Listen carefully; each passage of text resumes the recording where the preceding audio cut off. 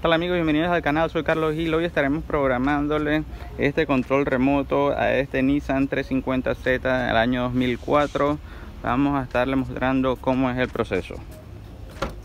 Primero nos situamos dentro del vehículo y utilizamos el switch para cerrar los seguros. Ok, una vez cerrados los seguros, vamos a intentar, bueno, vamos a probarla ya para que ustedes vean que no le estoy haciendo trampa.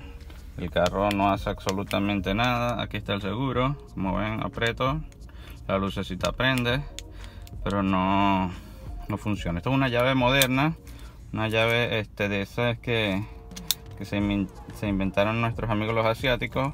Entonces, bueno, vamos a este utilizar la llavecita nueva el proceso va a ser el siguiente. Una vez ya cerrado el seguro con, desde el mando principal introducimos la llave seis veces hasta que las luces en el tablero titilen van a las luces de, seguridad de alerta eh, van a titilar. Y entonces en ese momento vamos a, a ciclar el switch a on y después vamos a apretar un botón en el mando que queremos programar ok entonces vemos, cómo es el proceso.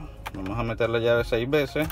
1 2 3 4 5 6 ahí vieron cómo las luces titilaron.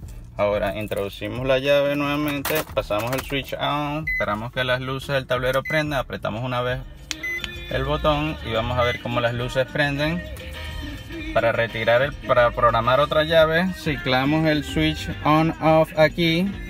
Cerramos eh, abrimos y cerramos.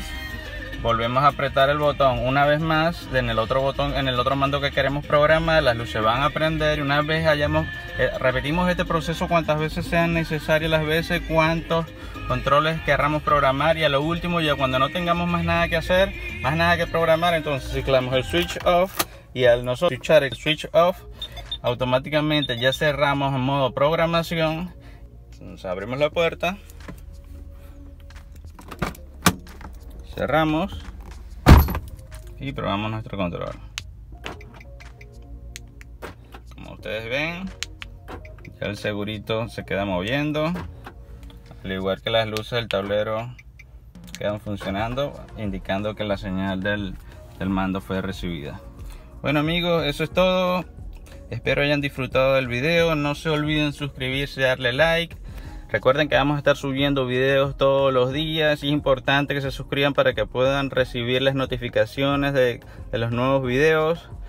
Eh, una manito arriba también nos serviría. Quizás unas gracias en, los en la sección de comentarios nos sería de gran ayuda para el desarrollo del canal. Nos vemos en la próxima. Chao, chao.